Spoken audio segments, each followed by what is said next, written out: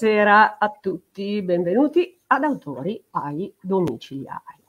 Come avete visto, questa è stata una settimana particolarmente intensa perché abbiamo avuto ben tre interviste. E le scorse interviste sono state estremamente piacevoli e quella di oggi sarà altrettanto superlativa perché abbiamo il piacere di avere qua con noi un bravissimo autore, il nostro Maurizio Galeazzo. Benvenuto Maurizio. Grazie a te, buonasera a tutti gli ascoltatori diretta e in, in streaming e le ascoltatrici.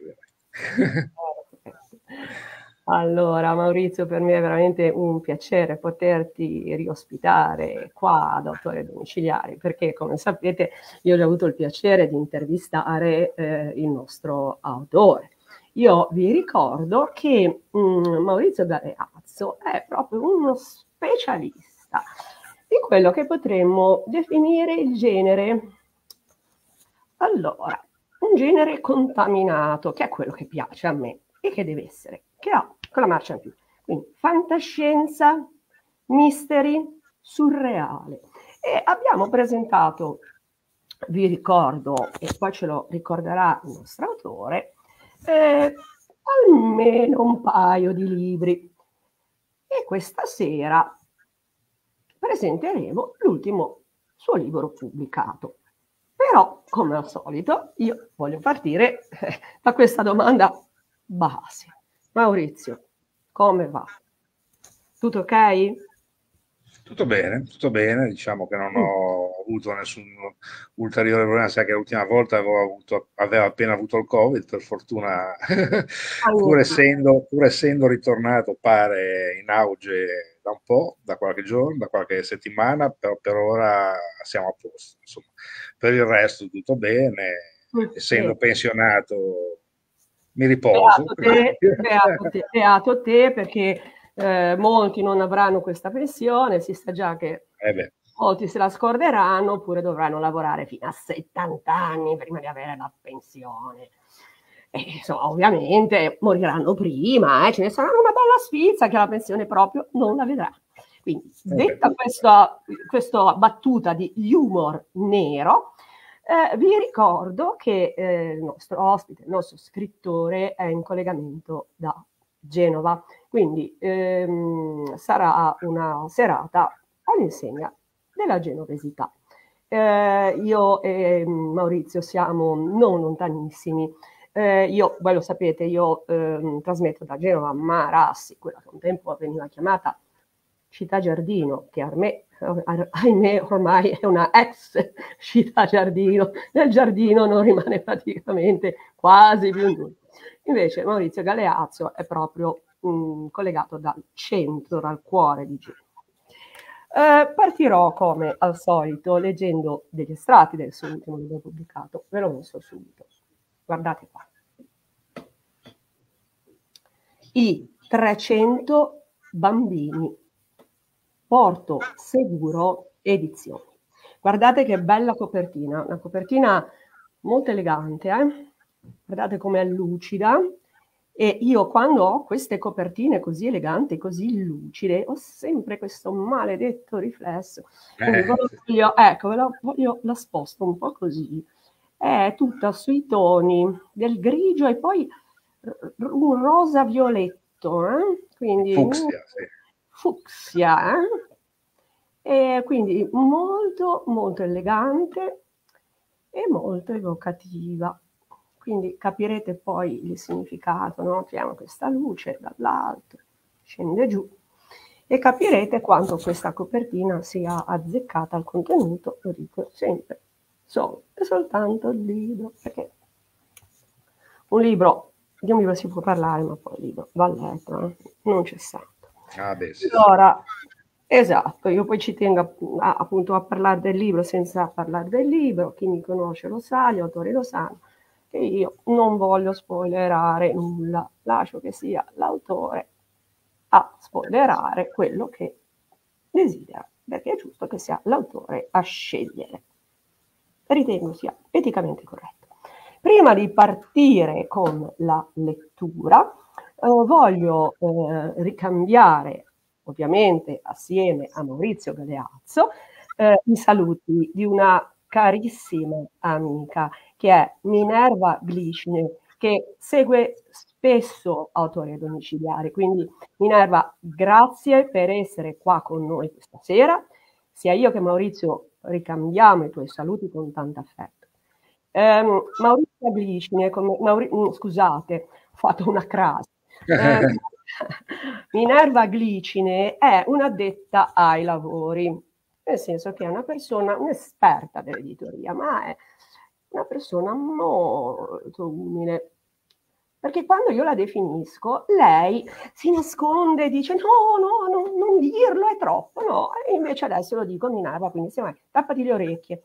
Perché Minerva è una bravissima editor e anche io la definisco una social manager perché è eh, molto brava in questo campo e mi sta, ehm, mi sta aiutando tantissimo perché io non riesco a fare tutto in certe cose, soprattutto nei social, in questa nuova tecnologia, non sono, mm, non sono mm, diciamo, molto, molto abile, molto capace, mi manca siamo, la. Siamo dei boomer. Siamo dei boomer. Eh, esatto, io questi mezzi li ho acquisiti, li ho dovuti approcciare per forza, ma non sono nata con i smartphone in mano, non sono nata quando già esistevano i social, quindi ho bisogno di persone come Minerva che invece sono eh, in gamba, ne sanno più di me e mi danno una grossissima mano. Io, soprattutto ultimamente, da settembre in poi, lo dicevamo con Maurizio dietro le quinte,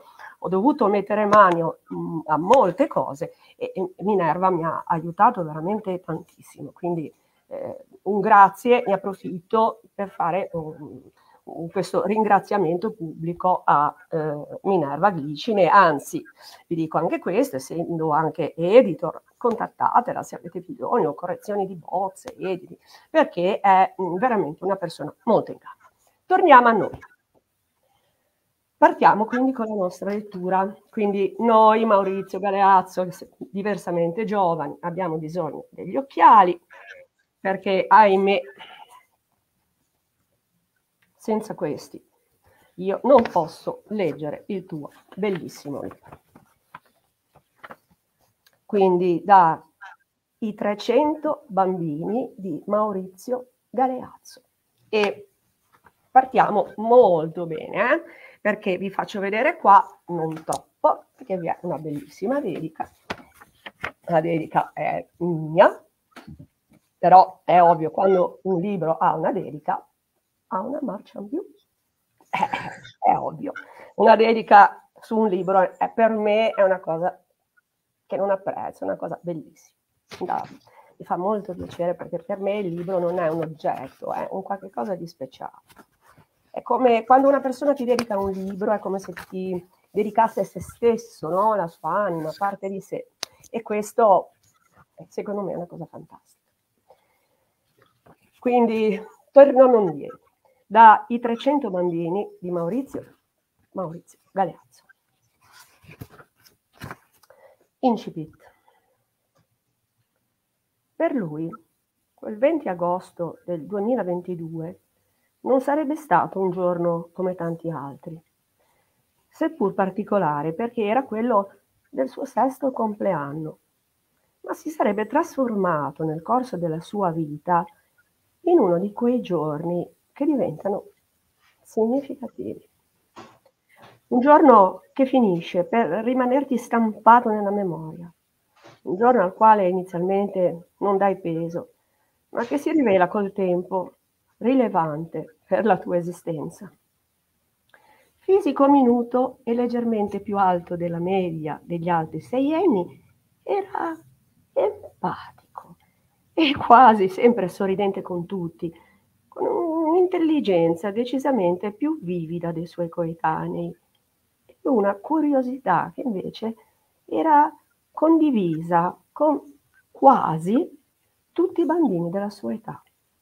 Una cascata di riccioli biondi faceva da contorno a un ovale regolare all'interno del quale spiccavano due, an- due grandi occhi azzurri. Quella mattina aveva fatto proprio una levataccia, ma ne era valsa la pena. Era ancora buio quando era uscito assieme a mamma e papà dalla loro villetta, che affacciava sul Mu- Music Lake, subito dopo la riserva naturale di Hills, e a poco meno di 8 chilometri dalle prime case di Scranton, ricca cittadina di circa 80.000 abitanti nella zona nord-orientale della Pennsylvania. Saliti sulla station wagon di famiglia in un quarto d'ora avevano raggiunto il parcheggio multipiano al centro della città, lasciato il quale in cinque minuti a piedi erano arrivati al termine degli autobus Lackawanna Avenue per prendere alle sei in punto uno dei tanti bus della Amtrak diretto a New York. Un mezzo della Greyhound in partenza dal Queens del tardo pomeriggio li avrebbe riportati a casa poco prima delle 22. L'entusiasmo che pervadeva il ragazzo era determinato non tanto dal viaggio verso la Big Apple, aveva già visitata sempre con i genitori eh, da pochi mesi e anche meno di un anno prima, in gita con l'asilo al parco a tema di Legoland, ma dalla promessa di trascorrere un intero pomeriggio da F A O Schwarz, il più antico e famoso e uno dei più grandi negozi di giocattoli della metropoli, dove poter scegliere il regalo per il compleanno, seppur con un tassativo limite economico di 150 dollari. Il risveglio antelucano ebbe però il sopravvento sull'eccitazione e il bimbo crollò a dormire per quasi tutte le sei ore abbondanti di percorrenza. Il bus puntualissimo scaricò il trio nel parcheggio vicino alla Penn Station a mezzogiorno e 40 precise. Da lì al negozio non ci sarebbero voluti che una ventina di minuti di tranquilla passeggiata a piedi passavano, passando per la Sixth Avenue. Lungo la strada un venditore ambulante di hot dogs contribuì a placare la fame dell'intera famiglia. Già soffermandosi a bocca aperta di fronte all'ampia vetrato dell'ingresso, il bimbo pregustava ciò che lo avrebbe atteso durante l'intero pomeriggio, una sorta di paese di bengodi, una mecca del giocattolo, fatta di oggetti meravigliosi dove perdersi e tra i quali soprattutto scegliere il suo regalo. Ma è un posto bellissimo, riuscì solo a dire prima di varcarne la soglia e strappando un sorriso ai genitori. Dopo tre ore passate a visitare minuziosamente ogni anfratto del negozio e provando anche molti dei giocattoli esposti, fece infine la sua scelta. Una bicicletta in legno, senza pedali, marca Steiff, studiata apposta per far apprendere i primi rudimenti di ciclismo ai bimbi della sua età. Così quando sarò più grande e avrò imparato ad andarci, me ne compro una vera e vado a scuola in bici, sentenziò convinto. E però costa 165 dollari. Come facciamo? Intervenne il padre, fingendosi serio, ricordandogli in modo indiretto il limite economico di spesa al quale si sarebbe dovuto attenere. Vabbè, dai, i 15 dollari di differenza ci rimetto io. Me li dalla paghetta settimanale, rispose altrettanto seriamente il ragazzo. Dalla sua nascita, infatti, i due coniugi avevano decido, deciso di destinare al figlio una rendita settimanale pari alla sua età anagrafica. Quindi un dollaro a settimana per il primo anno, due per il secondo, tre per il terzo e così via fino alla maggiore età. La donna. La donna ogni 20 agosto ripeteva il riso dell'affissione dei volantini sui muri della città.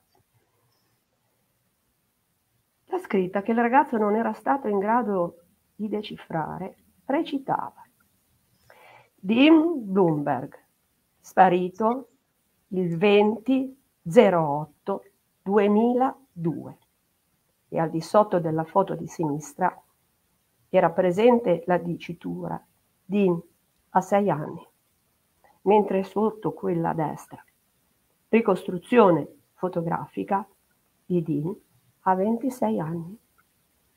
Una volta terminata quella greve incombenza, si recava nell'ufficio dello sceriffo per chiedere se c'era qualche novità in merito alla scomparsa del figlio.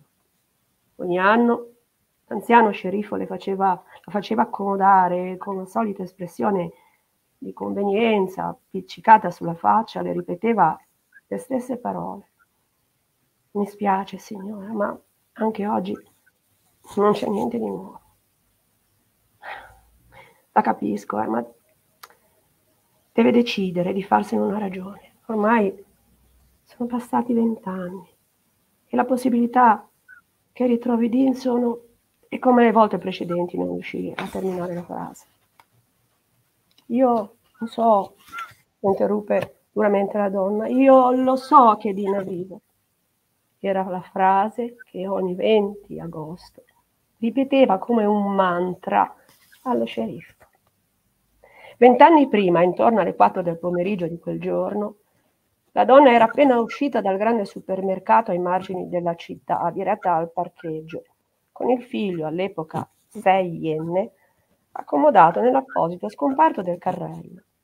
Giunta all'auto, aveva ripetuto in preda alla disperazione i componenti della pattuglia accorsa sul posto dopo la sua accurata richiesta di aiuto al 911. Prima di tutto ho messo Dean in macchina, assicurandolo con l'imbragatura sul sedile posteriore, come faccio sempre, e poi ho cominciato a caricare la spesa nel bagagliaio. A un certo punto una luce fortissima, come un flash a volto, è una luce, dice. E per quanto tempo è durata? Questa luce fu interrotta. Non saprei dirle esattamente, fu la risposta. Direi solo qualche decina di secondi, ma poi per un tempo altrettanto lungo non sono riuscita a mettere a fuoco la realtà circostante. In tutto, credo, meno di un minuto. E subito dopo si è accorta che Dean non c'era più. E questo, signori, era solo un breve assaggio. Brava come sempre. Grazie Maurizio, io ce la metto tutta, cerco di rendere al meglio la, ehm, la bellezza no? e il mistero no? che è presente in questa storia. Spero di aver suscitato un po' la curiosità di chi ci sta ascoltando o di coloro che ci ascolteranno in differita. Um, a questi punti io, come al solito, farò la domanda di rito, perché molti di voi sicuramente conosceranno il nostro autore Maurizio Galeazzo, però è giusto che io faccia la, la domanda di rito per coloro che non avessero il piacere di conoscere il nostro autore, perché ovviamente la nostra intervista online girerà a lungo sul web, per cui ci saranno sicuramente persone che non lo conoscono e quindi chiederemo a Maurizio Galeazzo. Maurizio Galeazzo, eh, chi è Maurizio Galeazzo? Mm. Parla un po' di te. Allora, io sono un uh, sessantottenne ormai, da, dal 3 di settembre ho fatto gli anni. Complimenti, eh, porti benissimo. Bene, grazie. Eh, da, un in, da, un po in, pensione, dopo aver fatto varie cose nella vita visto, su cui non vi sto a annoiare, eh, e mi sono scoperto scrittore recentissimamente, insomma, da, durante il lockdown l'ho già detto in altre trasmissioni fatte anche eh, ma noi, noi, lo ripetiamo sì, perché non sappiamo chi c'è dall'altra esatto, parte. Esatto. E mi sono trovato scrittore senza, senza saperlo. cioè, mi è venuta fuori questa vena. Io scrivevo bene a scuola, ho fatto un annetto giornalista Repubblica quando era ancora al lavoro. Eh, eh negli anni, anni, anni fa. Certo. E ho sempre scritto abbastanza bene. L- ero un appassionato di fantascienza, soprattutto della serie, della mitica serie degli anni 60, I confini della realtà, serie statunitense. Poi mitica, mitica, mitica, mitica, serie. E eh, come dico spesso nelle, nelle, interviste che mi fanno, eh, una mattina, la prima mattina di lockdown, aprendo le finestre su Piazza Caricamento, che è la piazza di fronte all'acquario a Genova, dove abito, eh, che in genere è trafficata, bus, gente, banchetti, eccetera, era completamente deserta. Poi ho portato il cane per i vicoli completamente deserti, sembrava una realtà parallela a quella che, che avevo vissuto fino al giorno prima e quindi mi si è sbloccato probabilmente un meccanismo, ho cominciato a scrivere dei racconti, dopo che ho scritto i due raccolte di racconti che ho presentato anche qui nel tuo programma. Sì, eh, gentilmente Maurizio, non è che li hai lì a portata di mano, perché se tu li mm. avessi lì si potrebbero far vedere velocemente le copertine. Eh no, ce l'ho, ce l'ho, ce l'ho ecco. messa nella scatola. Ah, ok, però eh, allora in questo caso ci potresti dire Um, sei, sei... I due titoli per cortesia, perché sono... Sì, allora, eh, eh, li, dico, li, dico, anche se sono esauriti e quindi sono fuori catalogo. Però, però... a noi interessa sapere sì, sì, sì, il tuo background, allora, la tua, la infatti, tua produzione, infatti. per conoscerti meglio. Infatti, si chiamano, il primo si chiama Mondi in, fra parentesi, finiti e l'altro si chiama Cose degli altri mondi. Erano editi da una piccola casa editrice che si chiama Montag Editore, casa editrice marchigiana, e sto trattando con rapporto sicuro e non è escluso che ci sia una ristampa di entrambi i volumi, entrambi i, i volumi in un unico volume per Natale, per Natale o poco dopo. Insomma, se fosse così si potrebbero rileggere perché appunto adesso non si riescono più a trovare. Eh, certo. E quindi niente, beh, questo quanto. Sono genovese, come tu hai già detto, sandoriano, per cui bisogna sempre specificare a Genova ah, guarda, le, le so, due, eh, non, non, so se, non, so se, ti intervisto più, eh, perché ah, beh, allora siamo questa cosa qua è grave, eh. oh Maurizio, molto grave. Eh, ma sai, come, come, dite sempre voi, capito che sei genuana, come dite sempre voi che siamo, che siamo di, di, un quartiere, io sono nato a San Pier d'Arena, non potevo che essere sandoriano. Quindi, e, e, poi ho, sono, sposato, sono sposato dopo una lunga convivenza, mi sono sposato il 18 di dicembre scorso e ho un cagnone che ha fatto gli anni ieri, 16 anni, eh, e li porta bene. Assolutamente. Bon, questo, è, questo, è, quanto, insomma. Quindi questo è il nostro Maurizio Galeazzo, quindi eh, porti sempre, da sempre dentro la, la passione no? per, per, la lettura, non può essere, cioè, non, cioè ci deve essere per forza. Eh, se sì, una sì, persona sì. si mette a scrivere deve avere la passione della lettura, perché senza questa alle spalle non, si, non c'è santo, non si può scrivere e in modo particolare, come hai detto, la fantascienza. Io ho avuto appunto il piacere di intervistarti su entrambe le, rac- le raccolte, diciamo subito. Si tratta infatti di due raccolte di eh, racconti e ricordiamo che sono comunque due raccolte piuttosto diverse. Eh, lo vedrete perché questa cosa della ristampa mi fa molto piacere perché sono due raccolte molto belle di racconti. Io non vi dico nulla perché molti sicuramente non avranno letti. E fra il surreale e il fantascientifico e vedrete che le due, le due raccolte, le due antologie sono differenti perché in una si tende, diciamo così, più verso la fantascienza, diciamola così, in una proprio sul surreale. Eh? Ecco, però, come io dico sempre, no, non voglio usare le categorie, perché entrambe le certo. raccolte sono contaminate, però sono, i racconti sono diversi. A me piacciono molto i racconti, lo sapete, ehm, perché in poche, diciamo così, in poco spazio, poche parole, bisogna dare delle forti emozioni. Maurizio è molto bravo in questo perché non tutti sanno scrivere i racconti, ok? E eh io certo. voglio ricordare in questa sede che c'è stato proprio un Nobel eh, sui racconti, Alice Mauro, che era il genio del racconto. Um, ecco, dopo, dopo, questo ho scritto il primo romanzo che si chiamava L'ultimo millennio, adesso questo ecco, era il secondo. Esatto, perfetto. Quindi Maurizio è partito dal racconto e poi si è voluto cimentare in un altro, un altro tipo di scrittura.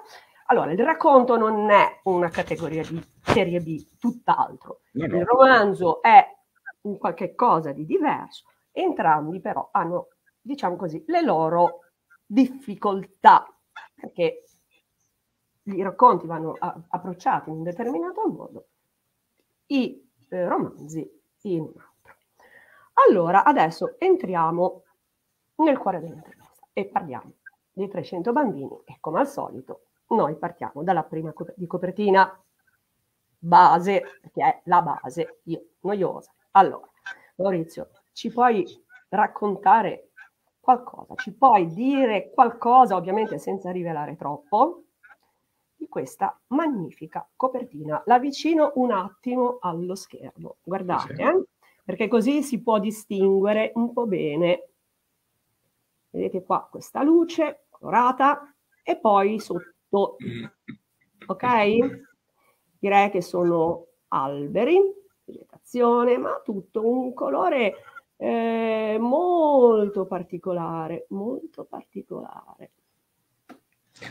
Allora, partiamo dalla copertina. La copertina l'hanno fatta come in tutti i romanzi che ho scritto, i grafici della Porto Seguro, che sono veramente bravissimi. Anche quella che avevo mm. fatto il primo romanzo, Ultimo Millennio, era altrettanto bella.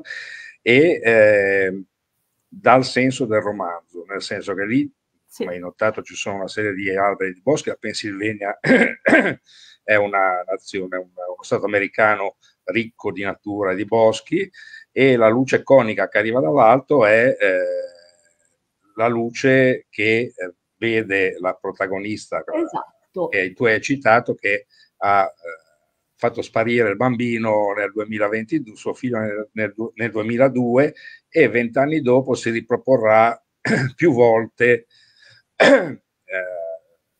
eh, col nuovo protagonista, insomma, che Josh, tu hai, detti, hai detto due dei protagonisti principali. Io non, ho detto il nome perché lo sai, ah, il nome lo lascia l'autore. No, no, Josh, si chiama Josh, eh, e la, la, la, donna che tu hai citato, la seconda protagonista del libro, insieme a un terzo che lei incontra, che è John Blair, eh, al quale hanno hanno rapito, eh, eh, sì, hanno rapito, in questo caso lui l'ha visto in diretta eh, con questa luce conica che arrivava dall'alto, lo stesso giorno in cui hanno rapito Dean, il figlio della, della signora, vent'anni prima. Oh. E eh, il tutto si scopre nel corso del romanzo che sono stati rapiti una decina di bambini in giro per il mondo con le stesse modalità e ehm, Josh eh, invece ha tutta una, una, una linea sto- di, di, di, racconto diversa da queste sparizioni, nel senso che, questo si può dire, beh, si, si, si, si, legge dalle prime certo. pagine del libro, eh, la sera in cui rientra dalla, dall'acquisto della bicicletta, della Stafe, la famosa Stafe eh, di legno, eh, rientra a dormire, vede nella sua camera eh, un'entità eh, che lui definisce eh, una nuvola grigia eh, come il fumo del barbecue è precisa da bambino, che però non puzza di salsiccia. e, e, che, da quanto si apprende nel corso del romanzo, ha il compito di salvaguardare la sua sicurezza per un anno. E, mh, mm, non diciamo di più in questo, in questo no. adesso, ma magari poi nella discussione dirò alcune cose di più perché poi c'è secondo me la, la cosa interessante di, del, del, romanzo eh, è, me l'ha detto eh, durante una presentazione una eh, insegnante de, del, dell'asilo, fra l'altro, mi ha fatto molto piacere, ha detto hai reso molto bene eh, il modo di pensare dei bambini, no? Infatti c'è una, una Uh, due piani diversi di ragionamento che fanno gli adulti e che fa il, che fa il bambino. Eh, infatti viene detto che questo, questa entità che Josh dice di aver visto è chiaramente l'amico immaginario, dice lo psicologo, no? perché ha l'età evolutiva, ha i problemi perché finisce l'asilo, andrà a scuola nuova, quindi eh, si è creato l'amico immaginario. E poi ci sono dei, degli scienziati che vengono a parlare con Josh, c'è un pezzo che mi piace molto, eh, che eh, gli, gli, chiedono insomma da dove viene, ha tutte le spiegazioni del caso e, e, poi dice appunto che è venuto per salvaguardare la sua sicurezza per un anno. No? Eh, e lui dice, eh, uno degli scienziati gli chiede, ma eh, dopo un anno cosa succede? Perché dopo un anno cosa succede? E Josh lo guarda e dice, boh, non mi ha chiesto, che è la risposta classica che darebbe un bambino. No? La più logica. La più logica, infatti. infatti. La più logica. Eh, la più, la più logica. Eh, Maurizio, tu hai detto qualcosa insomma, della, della trama, sì. hai accennato anche qualcosa dei personaggi. Eh, sono curiosa però un po' di sapere anche qualcosina sulla Genesi, come ti è venuto in mente di scrivere la Genesi, come ti è venuto in mente di scrivere i 300 bambini?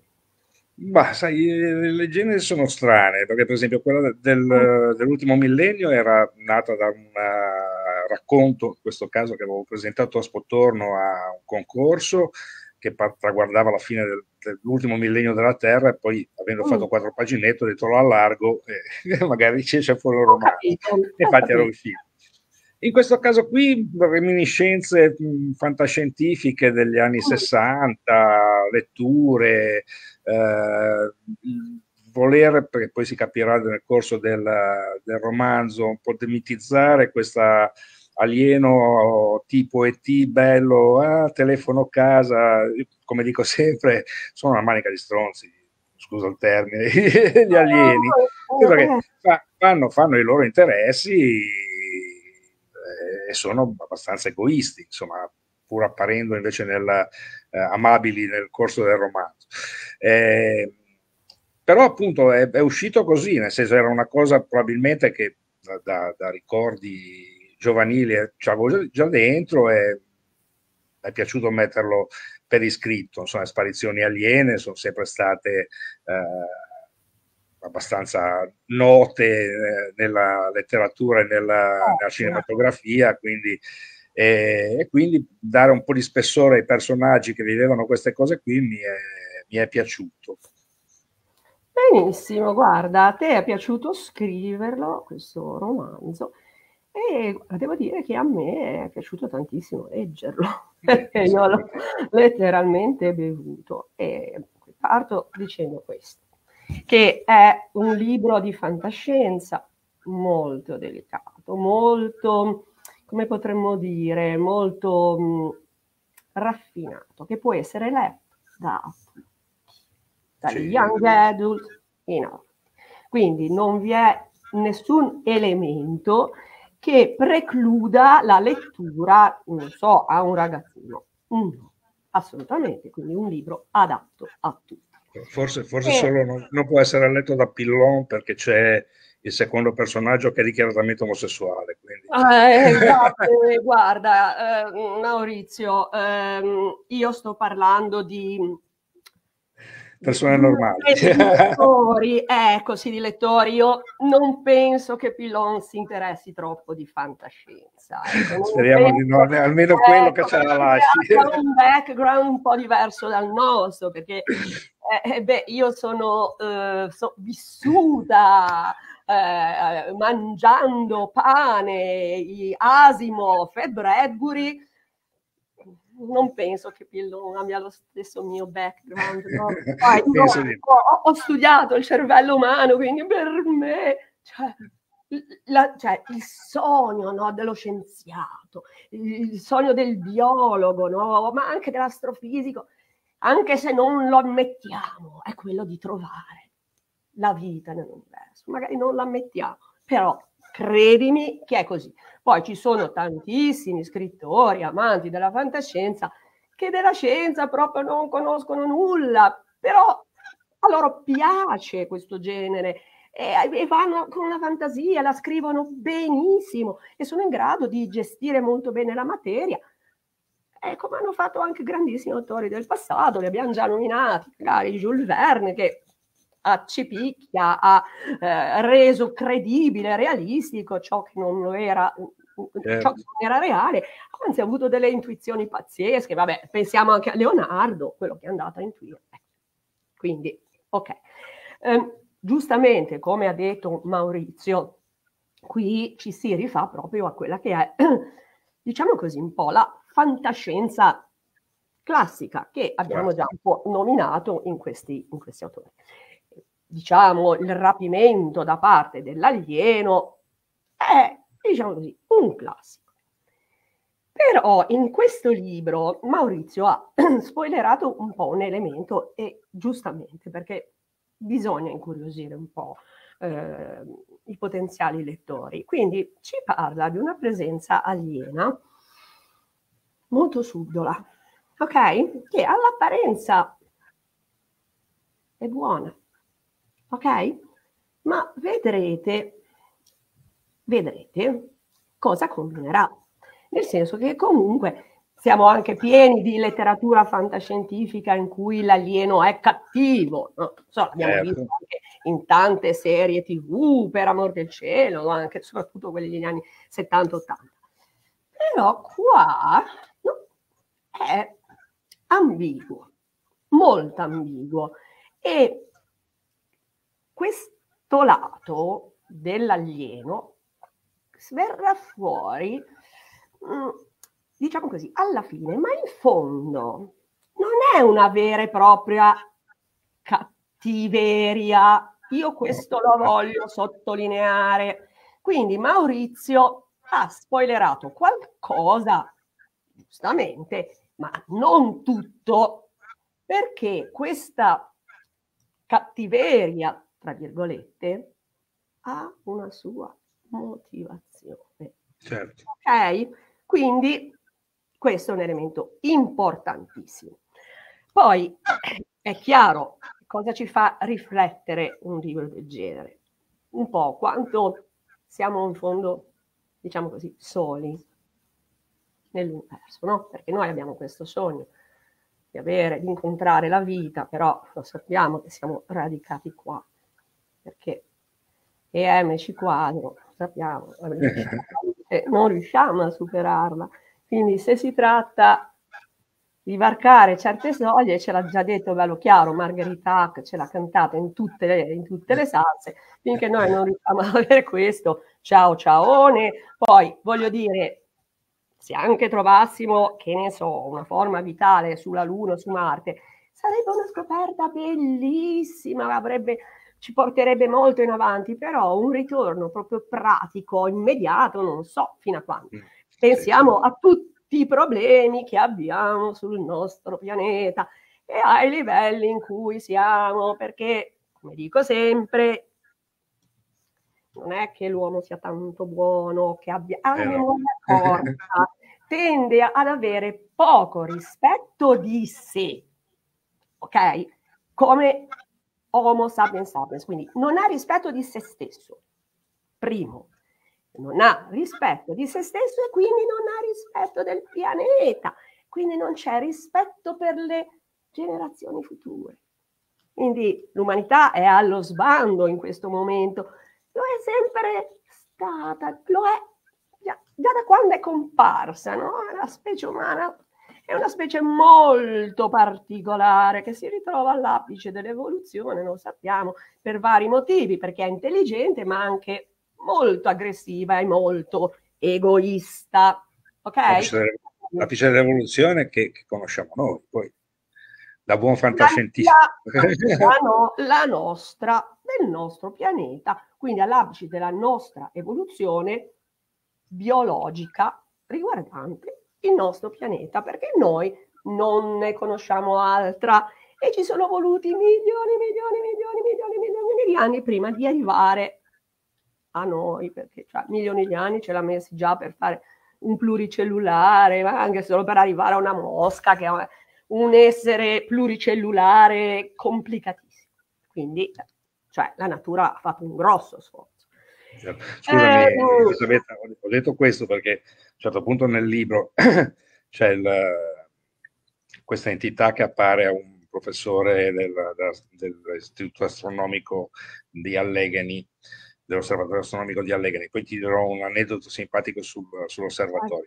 Eh, e lo incontra e gli spiega chi è, perché è venuto, poi gli fa sparire ovviamente la memoria per, evitare che diffonda la cosa. E lui dice che insomma l'evoluzione che questo, questa eh, entità, questa razza aveva avuto era per fare un esempio, diceva quando voi nella Terra avevate il Cro-Magnon eh, che cominciava a varare la Terra, noi facevamo già le astronavi, quindi per dirti, quando ti ho detto appunto il massimo dell'evoluzione nostra, si intendeva quello. La cosa, l'aneddoto simpatico di, di questa cosa qui è che io ho presentato il libro eh, quando ero uscito alla cooperativa, alla COP Liguria e c'era con me Walter Riva che è il direttore dell'osservatorio astronomico del Righi. C'ero, io ero presente. Eh? e stato, mi ricordo, amico e collega di, dell'università.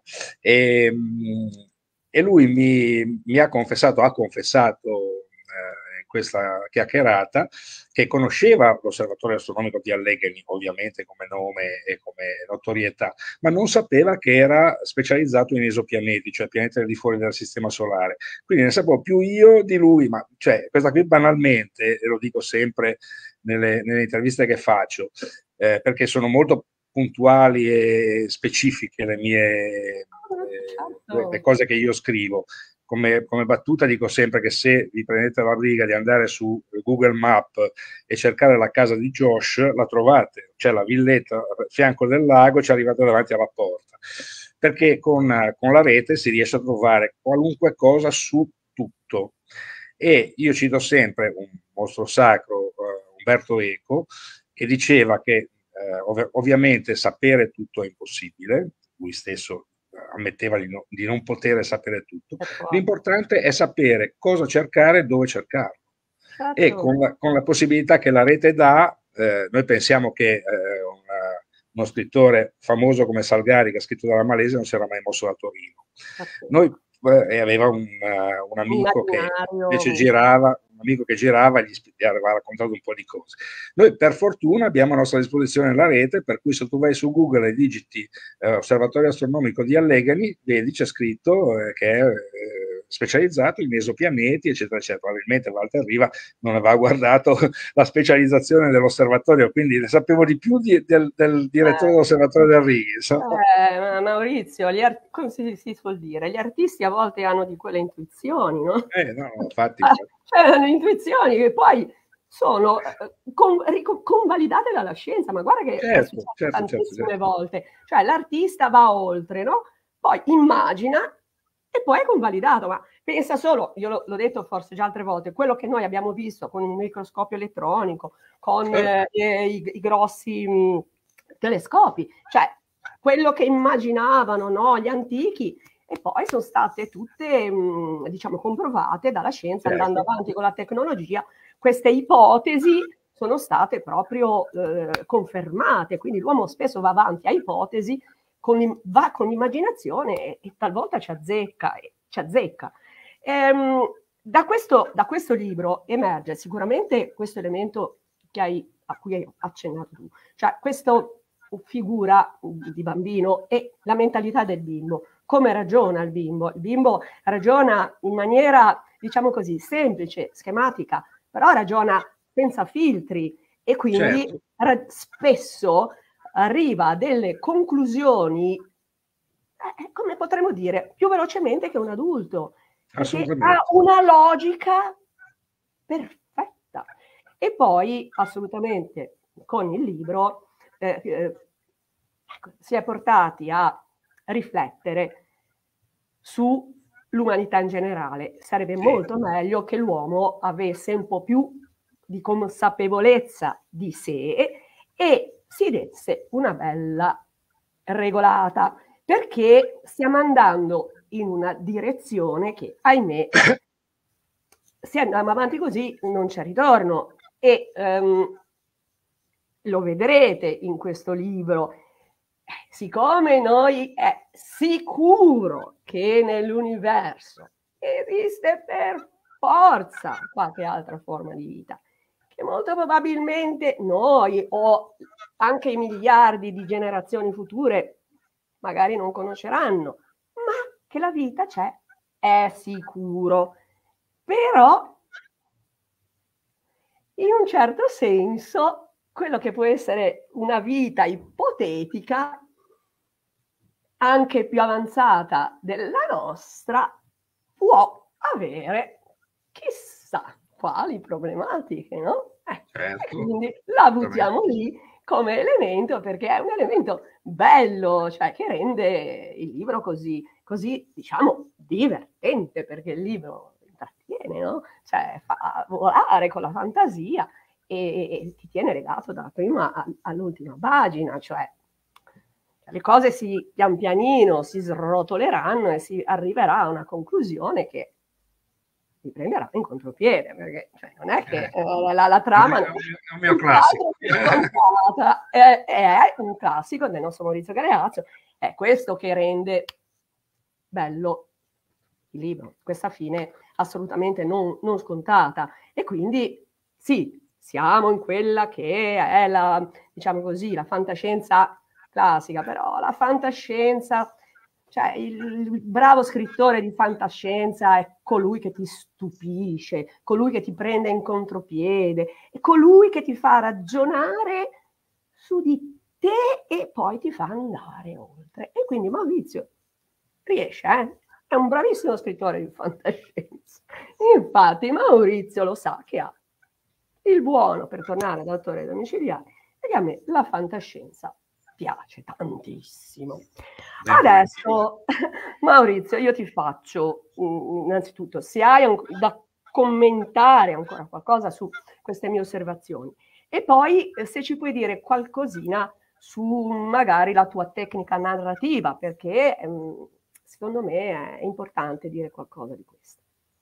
Sì, eh, dunque, sulle cose che abbiamo detto, sì, la fantascienza, è, è il modo uh, degli, degli, scrittori o dei, sì, soprattutto degli scrittori e soprattutto in una certa epoca di raccontare la, la realtà senza incorrere nelle pieghe della, della, repressione. Penso a George Orwell 1984, scritto nel 48, quindi come lui pensava che sarebbe voluta la società inglese, da buon socialista quale era eh, però non poteva dirlo in maniera eh, diretta, allora ha scritto un libro di fantascienza, oppure quando tu appunto certo. dici la, la, fantasia di quelli che scrivono di fantascienza, una delle cose che a me ha eh, lasciato senza parole da sempre appena l'avevo letto era Fahrenheit 400, eh.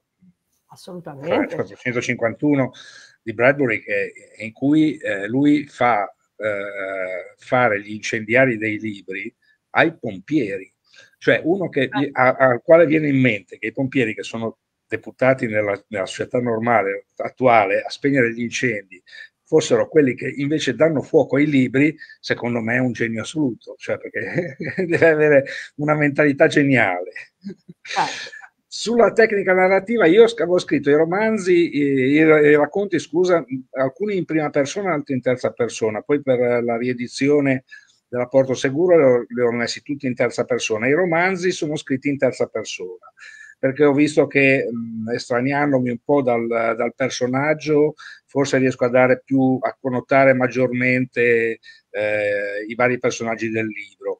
Ed è un, un modo di scrivere secondo me molto semplice quando tu dici che può essere fluito da tutti io ho letto appena adesso un libro che mi ha regalato di fantascienza eh, un po' particolare, mio figlio per il compleanno, ed è scritto in maniera veramente complicata, nel senso che ci vuole una fatica pazzesca a riuscire a leggerlo, a collegare le frasi. Il mio sono libri che mh, forse addirittura bana- banali, diciamo, ma si, si leggono... Banali, sì, no, ma hanno... si leggono si leggono bene, non hanno sì. grossi salti. Adesso va molto di moda il salto spazio-temporale, no? Sì, Quindi sì, spesso il lettore deve saltare di qua e di là. non è il tuo caso, ecco. No, no, no, sono libri tranquilli, eh, possiamo di, anche definirli, che, termine che secondo me non è disprezzabile in sé, libri da, da spiaggia, da ombrellone, d'estate, insomma, da, da leggersi tranquillamente senza, eh, pur facendo pensare le cose che dicevi tu, però che si leggono tranquillamente bene, insomma. Certo, oltretutto voglio aggiungere anche questo, che c'è un qualcosina non vi dico quale, che a me mi ha messo in testa un po' la pandemia, perché un pochino mi ci ha mm. fatto pensare. Buon, chiudo la parentesi. A pu- ecco, a questi punti, Maurizio, io ti chiedo una, una cortesia. Ci leggeresti tu un breve stato del tuo libro? Ma hai detto che c'è un pezzetto che ti piace in modo particolare, a cui sei particolarmente affezionato. Sì, posso leggervi, visto che l'ho citato, il dialogo eh, con, con, gli scienziati. Allora, basta trovarlo perché tanto tu eh, intrattieni il pubblico. Vai, vai, tranquillo, vai tranquillo, uh, per carità. Allora.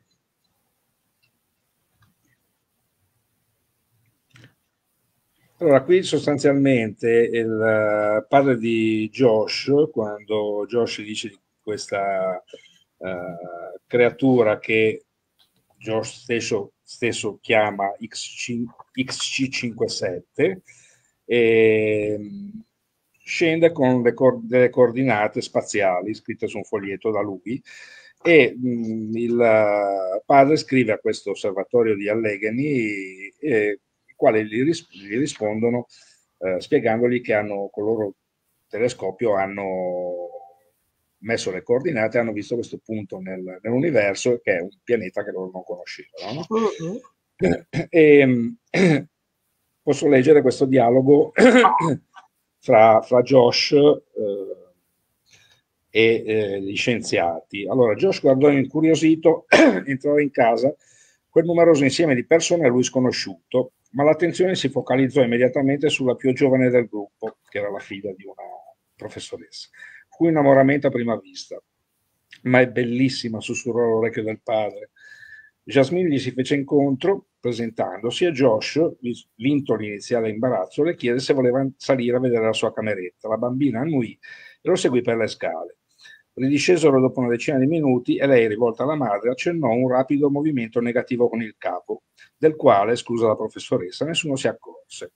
Nel loro gergo non verbale stava a significare niente di anomalo da segnalare. Allora Josh, iniziò il professor Rubini, ti piacerebbe vedere da dove viene il tuo amico? Come si chiama? X57? Ma io lo so da dove viene. Da Keynos, rispose prontamente il bimbo. Sì, questo lo so, me l'ha detto il tuo papà, ma ti piacerebbe sapere dov'è? So anche questo, sta nel triangolo, fu la replica, anche un po' infastidita. Ok, ok, sorrise Rubini. Allora adesso facciamo una magia. E rivolto al dottor Brian, che nel frattempo aveva montato una strana apparecchiatura, disse, Joe, sei pronto a far partire l'accrocchio? Sì, capo, fu la risposta. Schiacciato un interruttore su un grosso display, come per incanto, apparve una schermata nera che lentamente incominciò ad affollarsi prima di decine, poi di centinaia infine di migliaia di microscopici puntini di descenti. oh, fece Josh stupito e affascinato. E ora la vera magia, aggiunse Bryant, inserendo le coordinate in suo possesso e cliccando su un pulsante come se lo zoom di un obiettivo avesse iniziato a restringere le immagini, ai presenti parve di partecipare a una corsa perdifiata attraverso l'universo, indirizzata verso un punto preciso. Dopo pochi secondi la corsa rallentò fino a fermarsi e inquadrare un oggetto azzurrino, poco più grande della capocchia di uno spillo. E voilà, disse sorridendo la dottoressa, la dottoressa Chen. Ecco a voi Gainos, o quello che è la galassia del triangolo. Allora, Josh, che ne pensi? chiese soddisfatto della performance il professor Rubini. Wow, forte! fu l'euforico commento relativo a ciò che aveva appena visto. E se ci fermassimo una, mezz'ora, una mezz'oretta per mangiare il sandwich che ho preparato? propose Judith anche per stemperare la carica di emozioni che si erano accavallate. L'offerta fu accolta con entusiasmo all'unanimità. Allora Josh, chiese al vice direttore dell'osservatorio tra un morso e l'altro di un panino ripieno di tacchino e maionese, Raccontaci un po' di questo tuo nuovo amico speciale. Come ha fatto ad arrivare fin qui da, fin qui da così lontano. E chi lo sa, una notte l'ho trovato in camera mia, ha combaciato sotto la finestra che mi stava guardando. Fu la banale risposta. E avete cominciato a chiacchierare, intervenne la professoressa Fischer. No, perché anche se non aveva la faccia brutta era uno sconosciuto. Allora ho gridato subito aiuto. Quando sono arrivati mamma e papà lui è sparito. Ah, quindi si fa vedere solo da te. Credo di sì. Quando c'è qualcun altro lui sparisce. E questo perché secondo te? chiese il dottor Stenbaum. Che ne so, bisognerebbe chiederlo a lui, forse. Certo, è evidente, riprese la direzione del dialogo la Fischer. Ma quando parlate, come fate a capirvi? Parla la, la nostra lingua? Eh, si ferma a pensare un attimo Josh. Non è che parla proprio, lui non dice niente, ma io lo sento nella mia testa. Comunicazione telepatica, intervenne nuovamente Sendelman, rivolto alla professoressa. Direi che l'avevo intuito, gli rispose acida. Io gliel'ho detto subito a papà e mamma, gli interruppe Josh, è come una nuvola grigia, come il fumo che fa il barbecue. E io non ho mai sentito una nuvola che parla, aggiunse con una logica inoppugnabile. Anche questo è vero, ne convenne ridendo Rubini. Però ti ha detto perché è venuto a trovarti, proseguì il professore. Più o meno, rispose Josh, ma non so se ho proprio capito bene. Prova a spiegarmi. Mi ha detto che il suo compito è seguirmi per un anno stando attento che non mi accada niente di brutto. E tra un anno poi cosa dovrebbe succedere? chiese incuriosita la dottoressa C'è. Boh, mica gliel'ho chiesto ovvio, è un bambino, quindi risponde con la sua perfetta logica, no? La sua logica perfetta. Quindi la, la, la fantascienza, cioè non è solo immaginazione, eh, creatività, cioè la, la, fantascienza è un, chiamiamolo un genere che può andare verso la metafisica, ma può andare anche, come ha detto Maurizio, verso la, critica sociale, eh? perché la fantascienza può colpire molto duro, molto duro. Certo. Ci sono dei pilastri proprio della fantascienza, ce n'ha citato uno, che colpiscono duro a livello politico, a livello politico etico, morale e diciamo ecologico. Quindi la fantascienza è un genere molto tosto, ok? E se l'autore è bravo da questa diciamo, da questa sua creatività può lanciare veramente dei grossi stravi. Adesso, eh, Maurizio, io ti chiedo solo una curiosità.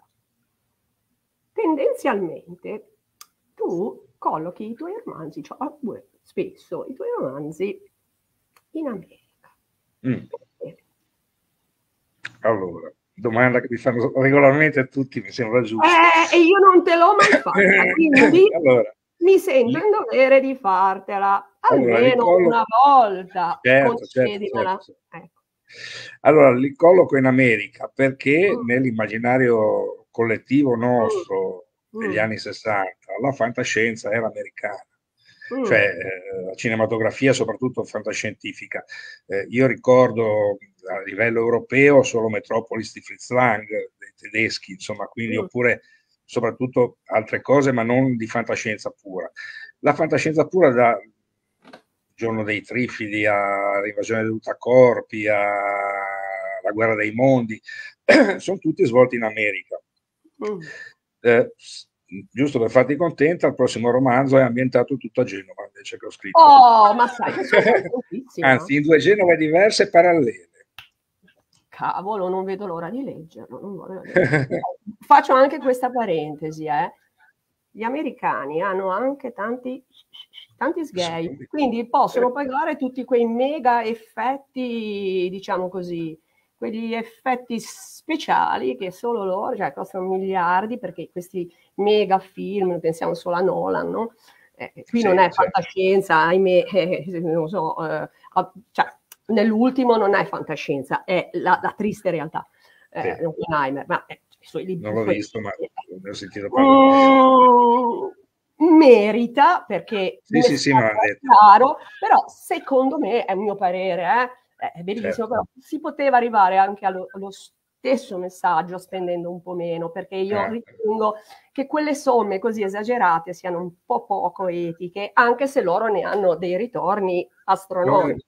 Devo ah. dire che Nolan adesso stanno facendo una serie su Sky dei film di Nolan, è una bella testa, eh? uno dei migliori registi di fantascienza degli ultimi tempi. E ti faccio notare che è un inglese, eh? Sì, sì, sì, sì, sì. Anche se, vabbè, l'Inghilterra è un po' un tutt'uno con gli Stati Uniti. E in fondo, ragazzi, parlano la stessa lingua, eh? Questa è una cosa... Comunque ti, ti faccio eh? una... ti racconto un aneddoto carino su, sul uh, America e i 300 bambini. Io, come tu sai, avevo un bed and breakfast che adesso è chiuso dal primo di certo. gennaio. Eh, arrivano due ragazzi americani eh, in, in, villeggiatura e prendo i documenti, vedo che uno è dalla Pennsylvania, avevo appena finito di scrivere 300 bambini. Anche gli dico, tornando su, ritornandogli i documenti, gli dico, guarda, appena scritto un romanzo, poi l'ha preso, fra l'altro. Eh, appena, scritto, appena scritto un romanzo che si svolge in Pennsylvania, no? Lui mi guarda e fa dove? E gli dico, pensando che cittadina di 80.000 abitanti, dico Scranton, così, fa 20 km da dove sono nato io. Quando si dice le cose fantascientifiche. No, ma la, guarda, oltre la, la, la realtà, io te lo, dico se, te lo, dico sempre Maurizio, la realtà va al di là della fantasia. Cioè, Infatti. Ca- per me il caso non esiste. Allora, a questi punti ti chiedo, hai dei progetti? Qualcosa hai già accennato, no? Sì. Quindi, allora, tanto sto facendo un po, di, un po' di tour in giro, sarò domani, fatto, fortunatamente è stato oggi sì. perché domani non hai potuto partecipare alla trasmissione, domani sono a Trento, dopodomani sono a Verona. Ottimo. Uh, a fine mese invece sono al, cosa che mi fa molto piacere, al Moncalieri Festival Jazz con un mio eh. racconto sul jazz, de, de, de, delle raccolte che ho fatto. E, ehm, e, poi il, questo lo do in anteprima, il 17 di ottobre presenterò il mio nuovo libro che si chiama Le due vite di Damiano Carletti, quello ambientato a Genova, ai Luzzati. Perfetto, quindi Maurizio sei, sei, un vulcano, insomma, sei, sei, sei un vulcano, quindi lo Poi, sempre, mi diverto, finché mi diverto vado avanti. Ma, eh, ma è così che deve essere. Infatti, infatti. Cioè, se uno, io lo dico sempre, se uno non ha niente da dire, pace. Eh sì, certo. hai qualcosa da dire, ti diverti, vai. Il problema è che anche quelli che non hanno niente da dire continuano a parlare. Questo è ovvio, Maurizio. Questo, ahimè, lo abbiamo detto, la natura umana è quello che è, se no non saremmo a questi punti. Infatti, io lo dico sempre, se mettessero l'etica e la psicologia, la sociologia come materie obbligatorie nelle scuole come il latino, saremmo più buoni e si viverebbe meglio, solo che se ne fischiano. Eh beh, sì. Ama studiare le guerre puniche, ma nessuno conosce la psicologia, nessuno... Eh, cioè, l'etica continua ad essere un qualche cosa di astratto, invece dovrebbe essere un qualcosa che unisce tutti gli uomini al di là del credo religioso e politico. Sì, Finché sì. non riusciremo ad avere questo, sarà sempre. Concorso. Adesso tiriamoci un pochino sul morale con due domande pratiche ma importantissime. Illuminaci d'immenso Maurizio e quindi ti faccio queste due domande tutte insieme. Dove possiamo acquistare i 300 allora. bambini di Porto Seguro Edizioni? Dove allora, troviamo eh, i social, negli, negli shop online, sì, negli shop online, uh, tutti i shop online e nelle librerie chiedendolo ci vuole magari un po' di tempo per farlo arrivare, ma per esempio la certo. libreria Porto Antico, Porto Antico ne ha delle copie, quindi potete Perfetto. trovarle già. Eh, social, eh, rimango fedele a Facebook, eh, vi trovate sicuramente su Facebook senza nessun problema, fra l'altro ci sono anche fotografie o interviste tipo questa, ma anche altre, altre cose o spezzoni di presentazione dei libri, se vi va. E il mio indirizzo email a cui rispondo a chi mi vuole scrivere è maurizio.galeazzo.gmail.com Facilissimo da ricordare. Benissimo, quindi non avrete nessun problema né a trovare, quindi acquistare 300 bambini, che vi ricordo porto Seguro Edizioni, né a contattare Maurizio Galeazzo. E sono sicura che Maurizio Galeazzo sarà molto contento di ricevere dei feedback o delle domande, lui vi, eh, vi risponderà. Sì, sì, contattate Maurizio Galeazzo e ne sarà molto felice perché lo dico sempre, scrivere è una faticaccia intellettuale, fisica, dà molta soddisfazione, però ci vuole coraggio a scrivere eh, perché ah, ci beh, si deve sì, comunque esporre al giudizio degli altri, nel libro c'è la propria anima, quindi scrivete a Maurizio Galeazzo. Ah, ah questi punti. Prego, sì, prego. Eh, mi dimentico sempre perché eh, ho, scr- ho, fa- ho, autoprodotto semplicemente mm. per i costi, perché mi costa pochissimo, una mia autobiografia.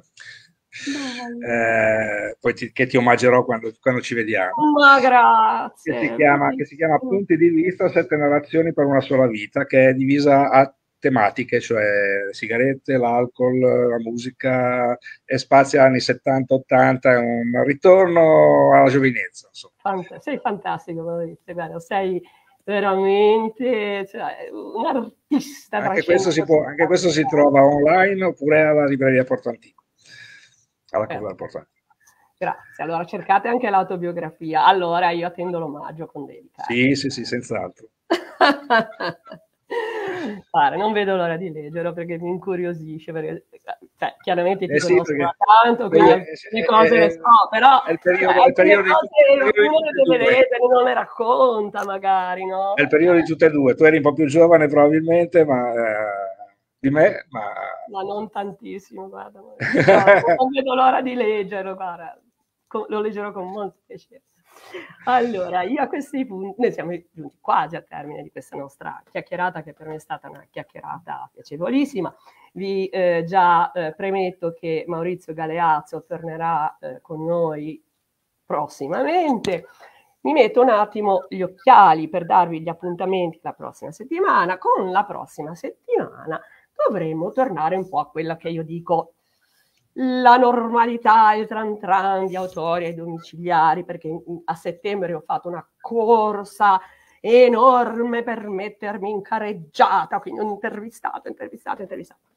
Adesso cerchiamo di arrivare a cioè, organizzare due interviste a settimana e io sono già molto contenta di questo, se riusciamo a fare questo, per me è già insomma, una grossa soddisfazione. Quindi vi do appuntamento alla prossima settimana, quindi martedì 3 ottobre, eh, sempre alle ore 17, e saranno con noi ben due autori perché presenteremo una, um, un'antologia di racconti e quindi avremo con noi Margherita Rita Gestro e Marco Gaglione. Poi mh, mm, avremo mercoledì 4 ottobre, sempre alle ore 17, uno scrittore Giuseppe Redondi. Quindi, saluto finale. Io saluto e ringrazio tutti coloro che hanno seguito la, la diretta. Ringrazio tantissimo Minerva Glicine per essere stata qua con noi, per averci mandato i suoi saluti e la ringrazio ancora per il, il suo contributo proprio, diciamo così, pratico-tecnico eh, alla mia attività. Eh, ringrazio e saluto anticipatamente coloro che ci seguiranno in differita e poi saluto con tanto, tanto affetto il mio scrittore di fantascienza, Maurizio Galeazzo. Grazie Maurizio per essere stato qua, qua con me. Questa sera. Grazie a te, tanto ci vediamo anche del viso tra, po- tra, tra pochi giorni, tra qualche settimana. Es- esattamente, perché non vi diciamo cosa, ma Maurizio Galeazzo mi accompagnerà, quindi io sono molto contenta, molto onorata di avere Maurizio Galeazzo che eh, mi affiancherà durante un evento, non, non, vi dico quale, lo troverete sui miei social, quindi eh, io e Maurizio Galeazzo eh, saremo insieme a questo evento, io no, non vedo l'ora perché eh, si tratta della presentazione ovviamente di un libro, eh, perché è ovvio, noi, certo. noi bazzichiamo fra i libri, ma non vi dico quale, vi lascio un po' di suspense. Quindi Maurizio, noi, noi ci vediamo presto e mando a tutti un grosso bacio da Genova e anche Maurizio ci manda i suoi saluti da Genova. Quindi ragazzi. Piazza Caricamento. Piazza Caricamento e Marassi. Ragazzi, ciao, un salutone da Genova. Un bacio ciao, a tutti, ci vediamo la settimana prossima.